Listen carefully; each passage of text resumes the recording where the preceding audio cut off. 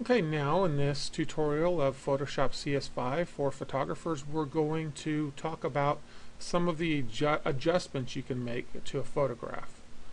The easiest way in CS5 is right here within the adjustments uh, palette. There's brightness and contrast. I never touch it. I would rather use levels or curves.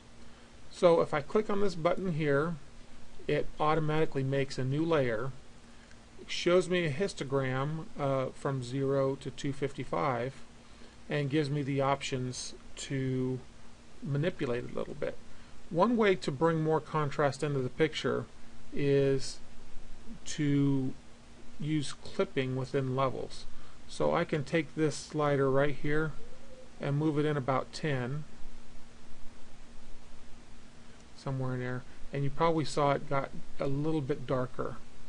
And if I move the one on the right in about six or seven it gets a little bit brighter in the bright spots. So the dark spots got darker the bright spots got brighter and the result was added contrast.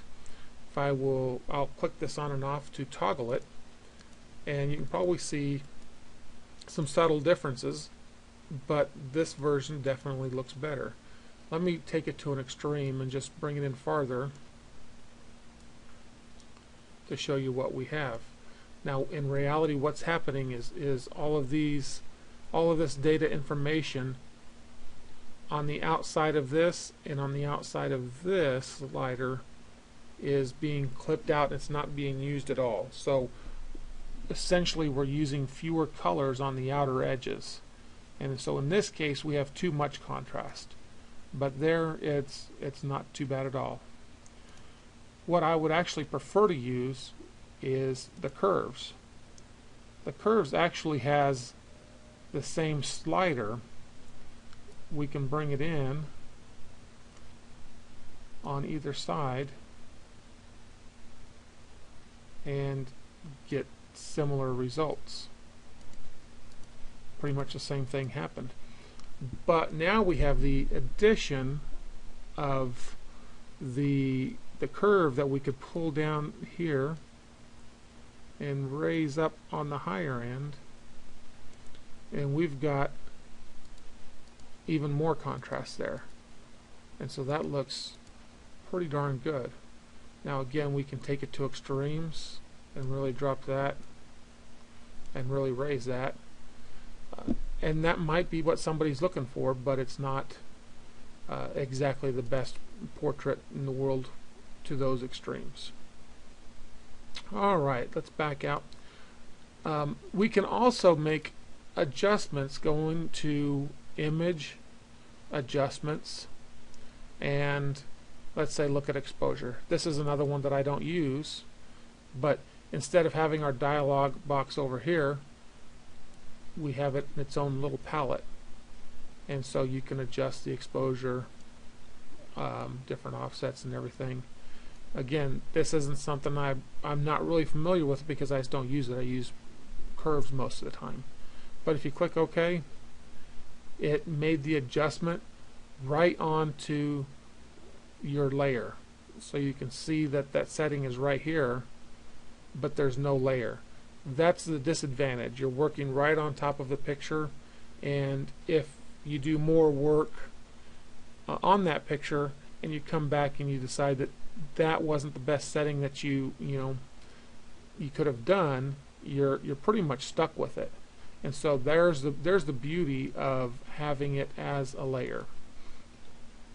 Another way to make a layer adjustment is this key right here this button click on that and it gives you plenty of options. So let's look at vibrance. Vibrance gives you the vibrance slider and saturation.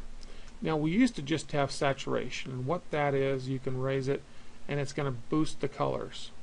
But in portraits, too much saturation always looks bad. It makes skin tones look really orange. If we were to take the saturation all the way back it's going to give us no color at all in a black and white image. So let's go back and make this zero.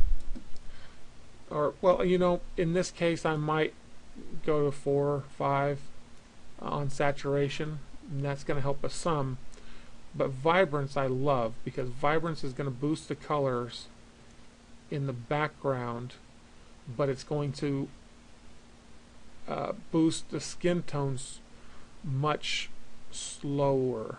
Um, it's not going to have the impact that saturation does. We can take it up to higher levels, and you can see that it's going to have some impact, but it's going to boost our our background uh, in a really nice way.